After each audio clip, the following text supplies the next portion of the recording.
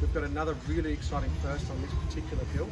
So on this build, we've Raptor coated the entire exterior of the camper trailer, which has given it a really unique feature and look, um, and it's able to colour match this customer's tow vehicle, which is really exciting.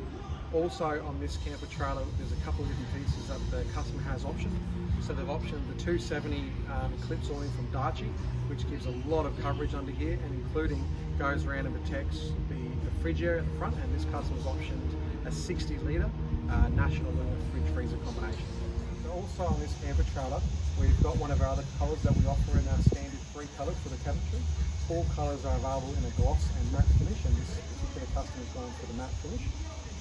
One other option we do now have on the cannings is this slide out table.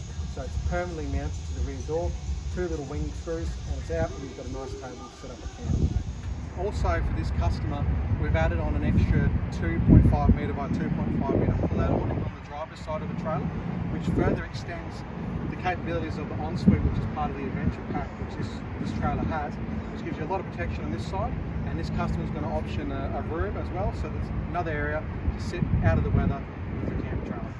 Also on this trailer, we've added our new drawbar toolbox, which is a new custom-built toolbox by us, completely designed to complement the aesthetics of the, of. So it gives you a lot more storage space up front, uh, standard hitch box.